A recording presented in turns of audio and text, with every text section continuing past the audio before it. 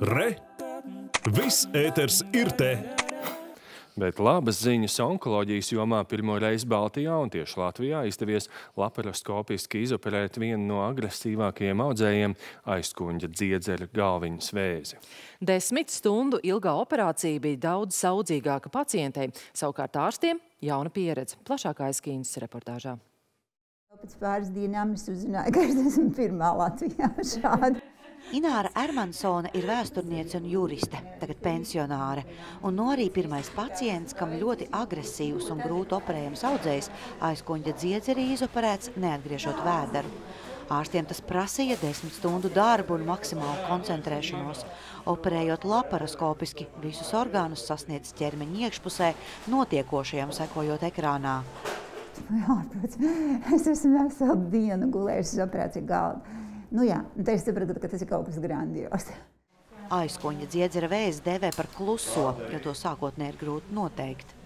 Sāp tā kā no muguras kāja, un es aitu pie savas ģimenes ārsta. Tas būtu pirmais paldies, kam es gribu teikt Jāgaus ģimenes ārstas praksē Valdmanē daktorei. Viņa momentā man uzstājas asins analīzes, un tur jau viss tas parādās. Tā pankreas aizkuņa dziedzera galviņa, tas, tas sarežģītākais un lielākā operācija, kas tādā Nu, pēc akna transplantācijas varbūt ir arī onkoloģiskā ķirurģijā. Un, nu, viņas visu laiku operē konts, tā, tā, pēc vecās metodas ar laparotomijas griezienu. Un tad mums kolēģis bija Polijā vairākas uh, nedēļas stažēties. Kolēģis ir Sergejs Šapovālovs, kurš Krakovā pie pasaulē atzīta profesora apguva gan kuņģi, gan aizkuņģa operēšanu ar mazāko asins zudumu. Tomēr ar lielu kameru, ar ļoti lielu izšķirtspēju var redzēt visas struktūras, ja to smalkāk izdalīt. Ja.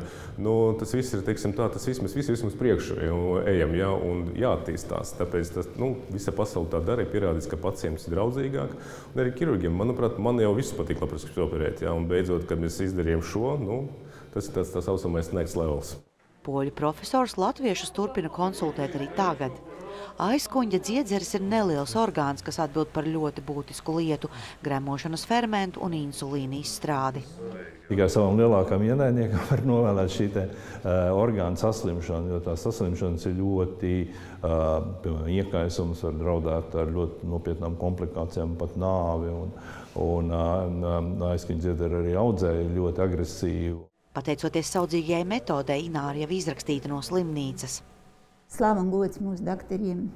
Laparoskopiski aizkuņģi operē visos lielākajos centros, tāpēc mūsu ārstiem ir prieks, ka ar šo operāciju viņi iet kopsolī ar pasauli. Latvijā šādas operācijas būtu jāveic apmēram desmit pacientiem gadā. Aiki Incīngus Graudiņš, Latvijas televīzija.